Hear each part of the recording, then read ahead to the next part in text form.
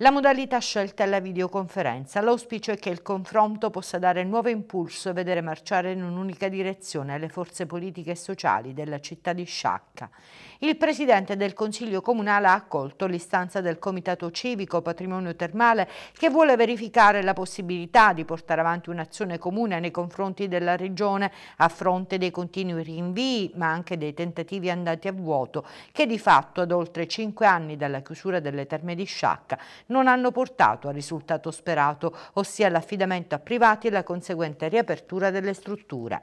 Anni di attesa per un bando pubblicato nella scorsa primavera e scaduto nel mese di luglio senza che nessuna offerta sia pervenuta. Adesso si aspetta un nuovo e diverso bando, più appetibile per i privati è stato detto, ma il timore è che passi ancora altro troppo tempo. Il Comitato Civico Patrimonio Termale ritiene che a questo punto sia necessaria un'azione comune nei confronti della Regione, verificando intanto la volontà di tutte le forze politiche presenti in Consiglio Comunale.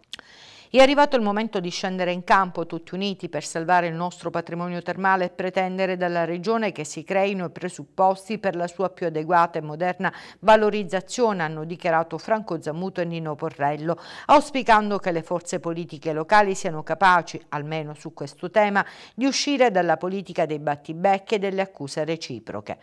L'approccio in tal senso deve essere quello di guardare al futuro e non al passato. Occorre intraprendere, dichiarano infatti gli esponenti componenti del Comitato Civico Patrimonio Termale la strada della determinazione dell'unità per far capire a Palermo che la città di Sciacca è stanca di essere presa in giro, ma anche per capire se esiste una concreta volontà politica regionale di risolvere i problemi delle terme saccensi. Oggi pomeriggio il confronto dunque tra Consiglio Comunale e Comitato Civico allargato all'amministrazione, ai parlamentari regionali e nazionali del territorio e alle associazioni Sciacca Termi Rinasce e Ora basta.